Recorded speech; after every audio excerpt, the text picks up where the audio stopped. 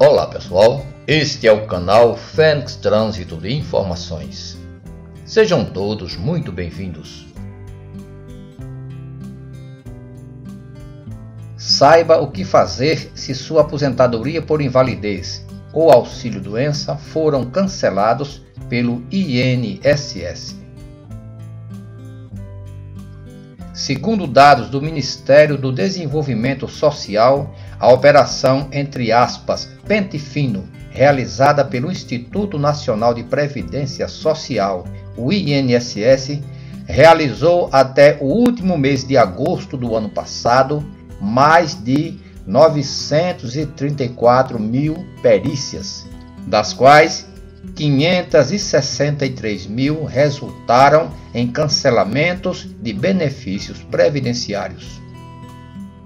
A previsão é que até o final deste ano sejam realizadas aproximadamente 2 milhões de perícias de revisão, aumentando-se assim o número de benefícios cancelados.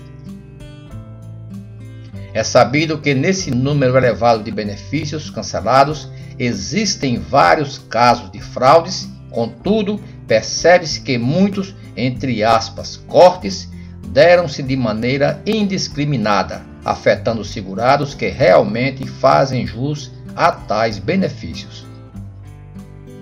Nesse sentido, todo segurado que teve seu benefício previdenciário injustamente cancelado pelo INSS pode proceder de três maneiras.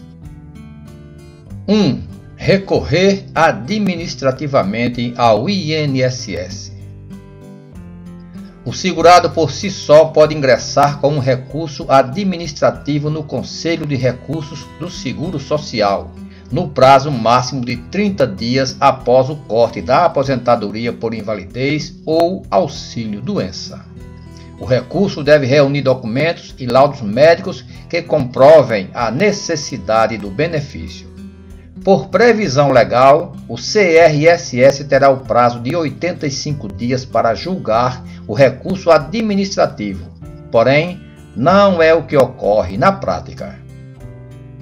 O tempo para apreciação de um recurso administrativo do INSS pode chegar a um ano ou um ano e meio, superando por vezes o tempo médio de uma sentença nos casos em que o segurado opta por ingressar na justiça para ter o restabelecimento do benefício. Ainda, a probabilidade de que o INSS negue o restabelecimento do recurso é alta, vez que somente a minoria dos casos obtém decisão favorável do recurso decidido pela autarquia federal, o INSS. 2. Novo pedido de benefício. O próprio segurado, na maioria dos casos, após o prazo mínimo de 30 dias do cancelamento do benefício, tem a opção de fazer novo pedido de aposentadoria por invalidez ou auxílio doença junto ao INSS.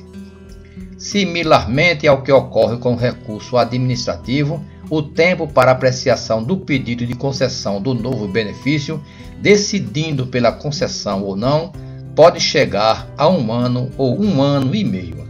Importante esclarecer que, optando por essa alternativa, o segurado não terá direito a receber valores retroativos à época do cancelamento do benefício. 3. Ingressar com pedido judicial. Essa alternativa tem se mostrado o caminho mais rápido e eficaz para o restabelecimento dos benefícios previdenciários de aposentadoria por invalidez e auxílio-doença, entre aspas, cortados pelo INSS.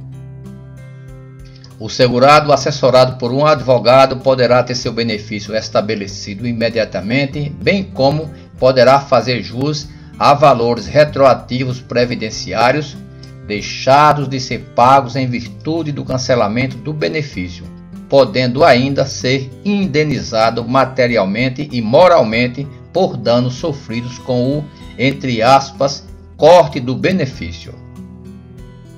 Segundo as estatísticas, o número de processos na justiça contra, entre aspas, cortes de benefícios previdenciários quadruplicou com a operação, entre aspas, pente fino do INSS.